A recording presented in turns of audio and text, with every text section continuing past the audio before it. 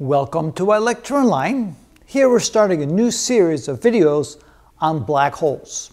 So the question would then, of course, your first question would be, what is a black hole? And one way to describe it would be to say a black hole is a region in space where the gravitational forces are so enormous that light simply cannot escape, that the escape velocity is greater than the speed of light, so nothing, not even light, can escape. But perhaps a better way to describe a black hole is in trying to describe how a black hole actually forms.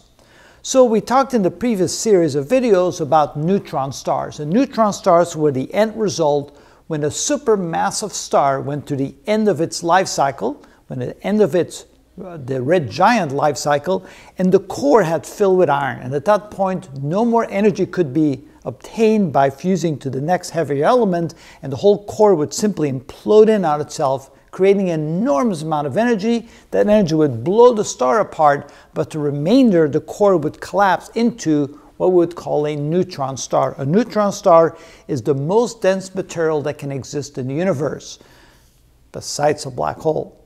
So what a neutron star is, it's simply a ball of nuclear material, neutrons, protons, electrons, squished together to the most dense property or the most dense state that it can be in. And at that point, it is about 20 kilometers across, a radius of 10 kilometers, and the density is so enormous that a single cubic centimeter of the material would be as much as 100 million tons in mass.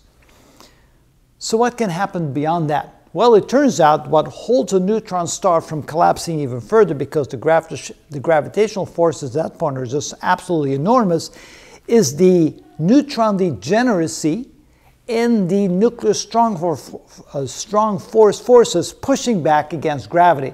At that point, by the time the neutron star has a diameter of 20 kilometers or a radius of 10 kilometers, the gravity forces are so enormous that there's just a delicate balance between it trying to squish down the neutron star and the nuclear strong forces and the, and the neutron degeneracy pushing back.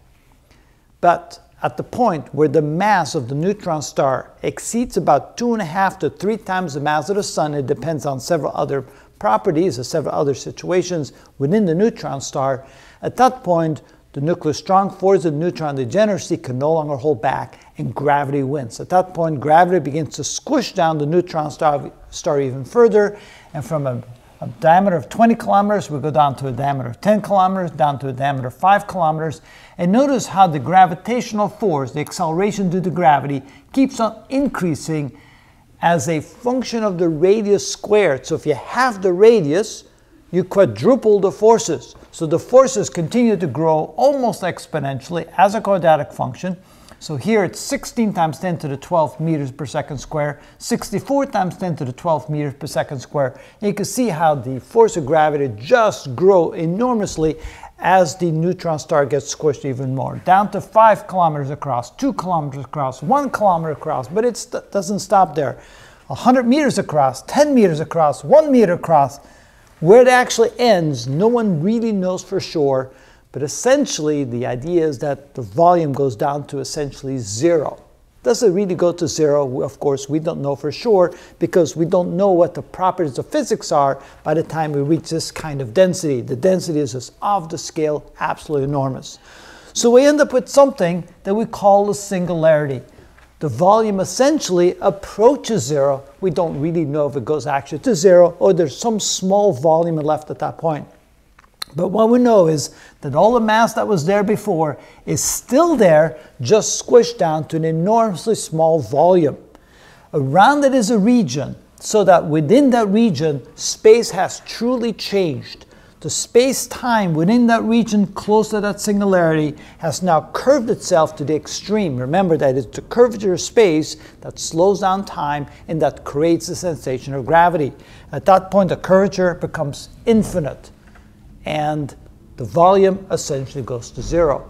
But any time you're around this region, you still feel the forces of gravity due to the mass that is there. At this point, the minimum mass in there would be about two and a half to three times the mass of the sun, squished down to something incredibly small. And that essentially, this region here is then called a black hole because no information can leave that region.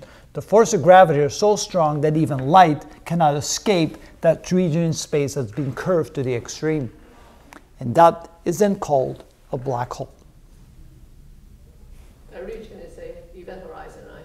Well, we'll talk about the details later, but yes, the event horizon is the boundary, so to speak, of that region. Does the event horizon?